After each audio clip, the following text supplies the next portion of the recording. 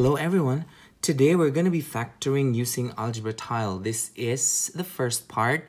I will put the link of the second part in the description box below. Um, I put a little note right here using algebra tiles. The area as a sum is equivalent to the area as a product. There is another video that talks about the area as a sum. Again, I will put the link of that video in the description box below. So our target today is to come up with two equations which are equivalent. So we first um, get the general equation and its equivalent factored form. So let's jump into the first example here to better understand um, uh, how to factor using algebra tile. So we're given a tile right here and the first step that we're going to do is to uh, write the area as a sum. So the area as a sum would be we uh, count all the, uh, by the way, there is another video that talks about how we get the area as a sum. So to get the area as a sum, we are going to write this all out. So there's 1x squared. So I'm just going to go ahead and write 1x squared here. So that's, I can just go ahead and write x squared. And then I count the x's. One, two, three, four, five. So there's like five x's. And then there's one, two, three, four. There's four ones. Okay, the next thing that I would do is to label. So this one right here is the area as a sum. So this is the area as a sum. Now, um, to get the area as a product, we are going to multiply, since this is a rectangle, we're going to multiply the width and the length. In order that we can multiply that, we need to label the sides first.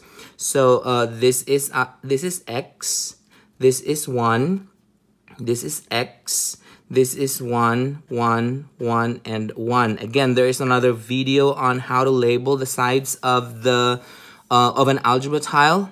So we are now ready to determine the um, equivalent area as a product. Again, the one that I got, I added all the labels inside the uh, rectangle or inside the tile. So that's x squared, 5 x's, 4 ones. So this is the area as a sum. To get the area as a product, I'm going to multiply these two, the width and the length. And the width for this is actually x plus 1.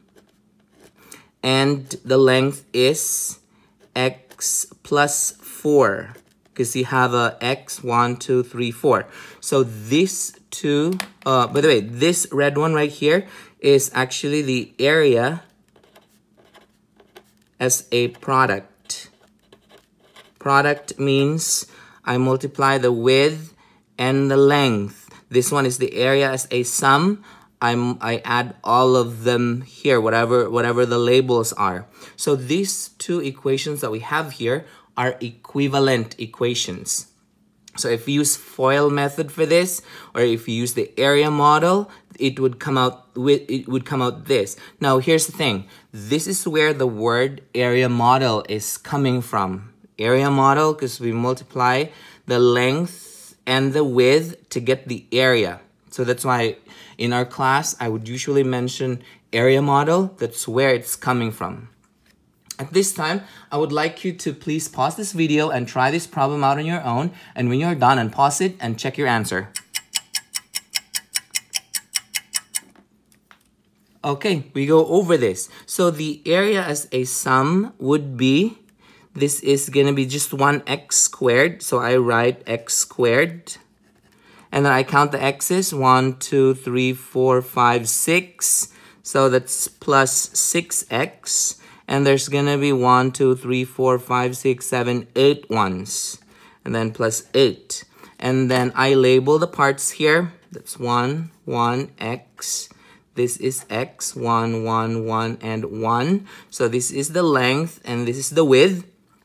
So this means that the equivalent factored form is x plus 2 times x plus 4. So x plus 2 because you have x, 1, 2, and then x, 1, 2, 3, 4. And this is the general form.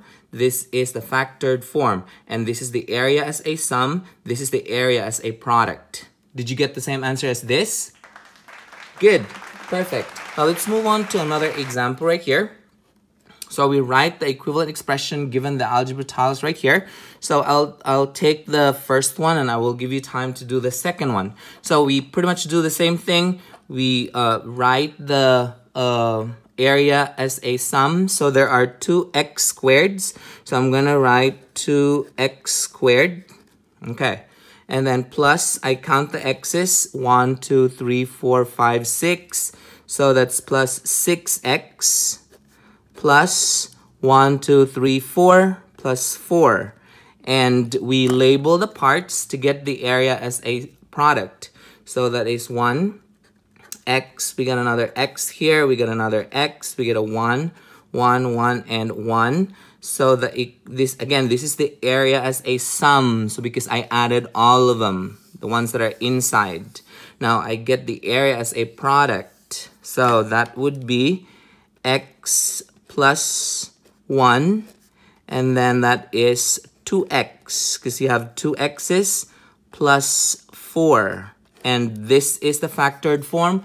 This is the general form. Now, at this time, I would encourage you to pause this video and try this problem out on your own. And when you're done, unpause it and check your answer.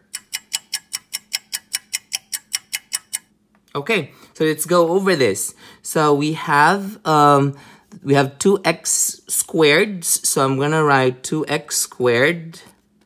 Then I count the um, I count the x's. 1, 2, 3, 4, 5, 6, 7, 8. 8x. And then I count the ones. 1, 2, 3, 4, 5, 6, 7, 8. So that's a plus 8. And I label the parts here. So this is 1, 1, x, x, and x. 1, 1, 1, and 1. And so the equivalent um, factored form would be x plus 2 times 2x plus 4. So again, if you multiply this using FOIL method, it would come out to this form. Again, this is the area as a sum. This is the area as a product. Did you get the same answer as this? Good. Perfect. If you find this video helpful, hit like and subscribe for more math videos. See ya!